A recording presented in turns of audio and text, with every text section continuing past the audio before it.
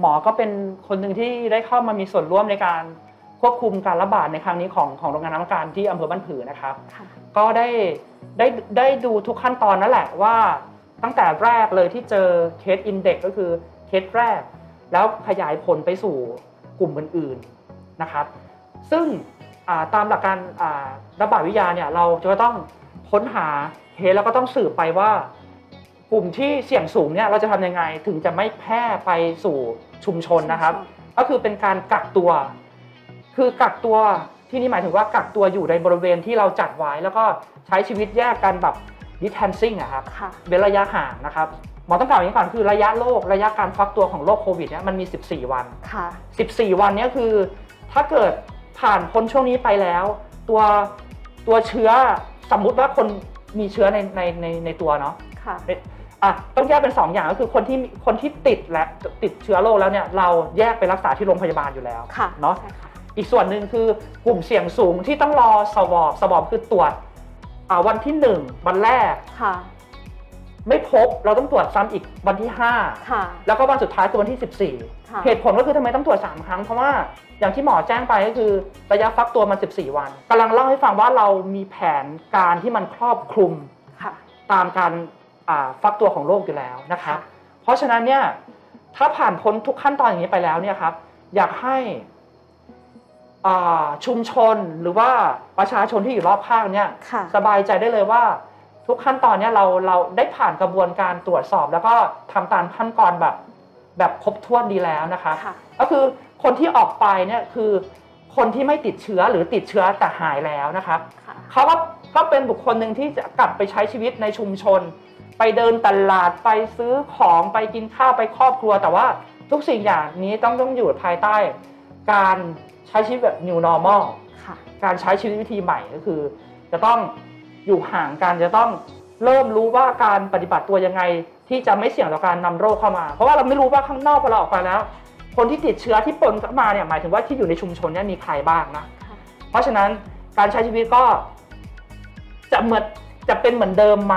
หรือว่าจะเป็นเหมือนเดิมแต่ไม่เหมือนเดิมค่ะก็อาจจะเป็นไปได้ครับเพราะฉะนั้นเนี่ยอยากให้ชุมชนเข้าใจว่าเราได้ทำทุกขั้นตอนมาแล้ว อยากให้ยอมรับตรงนี้ว่าทุกอย่างพ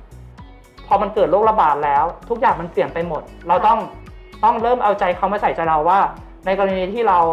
ถ้าถ้าเป็นเราบ้างเนี่ยเราจะรู้สึกยังไงนะครับเพราะฉะนั้นเนี่ยไม่อยากให้มองว่าคน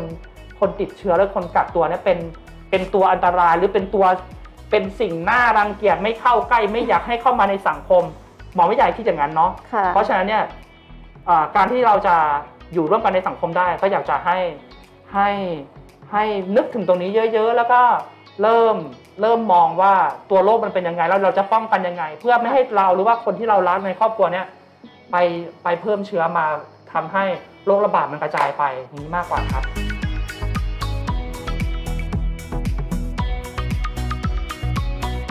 ก่อนจะให้กำลังใจคนอื่นเนี่ยหมอให้กำลังใจตัวเองทุกวันเลยค่ะนะครับ เพราะว่าคือจะบอกอย่างนี้ครับ คือตัวเราเนี่ยแหละสำคัญที่สุด พอเราพอเรารู้สึกว่าเรา เราเราเหนื่อยเราท้อแท้กับกับปัญหาต่างๆ เนี่ยอันดับแรกหมอหมอจะถอยกลับมาหนึ่งก้าวแล้วก็ต้องให้กำลังใจตัวเองก่อนก่อนที่เราจะไปให้กำลังใจหรือว่าจะไปดูแลคนอื่นได้เนาะค่ะคือหลักการก็คือ หมอจะมองว่าปัญหามันก็คือปัญหา มันต้องมีทางแก้สักวันไม่แก้ทางช่องทางหนึ่งช่องทางสองช่องทางสามก็ต้องต้องต้องตามมานะครับค่ะเราจะพยายามมองอย่างนี้นะครับ ในส่วนของ โรงงานน้ำตาลอำเภอบ้านผือที่ประสบกับเหตุการณ์โรคระบาดอย่างนี้นะครับ ก็เมื่อมันผ่านพ้นไปแล้ว เราก็จะผ่านพ้นไปแบบแบบให้มันเป็นบทเรียน แต่ว่าเราก็จะจดจำว่าสิ่งที่เราควรจะต้องทำในอนาคตเพื่อเพื่อการใช้ชีวิตให้มันแบบปกติเหมือนเดิมเนี่ยมันจะมันจะต้องทำยังไงเนาะค่ะแล้วก็การที่ เราประสบเหตุการณ์อย่างเงี้ย ไม่ใช่ว่ามันมันมีแต่ผลร้ายอย่างเดียว ทุกอย่างเข้ามามันมันทำให้เราได้ได้เรียนรู้ทางด้าน ด้านที่แย่แล้วก็ด้าน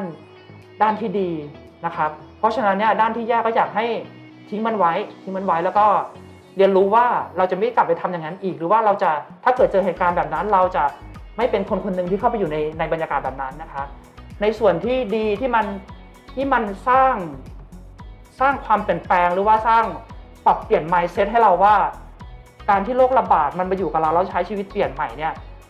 เราทำได้นะ แล้วเราจะข้ามผ่านไปตรงนั้นได้ ไม่ว่าเราจะเจอเหตุการณ์ในอนาคตที่มันร้ายแรงกว่านี้หรือว่าจะเป็นโรคอื่นหรือว่าจะเป็นสถานการณ์อื่นที่ไม่ใช่โรคร้ายก็แล้วแต่เนี่ย เราสามารถใช้เหตุการณ์ตรงนี้ไปปรับใช้แล้วก็ปรับเปลี่ยนให้มันกับเข้ากับบริบทในตอนนั้นได้นะครับ เพราะฉะนั้นเนี่ยหมออยากจะบอกว่าหมอยังสู้เลย พวกเราทุกคนก็ต้องสู้ๆนะครับ สู้ไปด้วยกันเราจะผ่านมันไปได้ด้วยกันเสมอครับ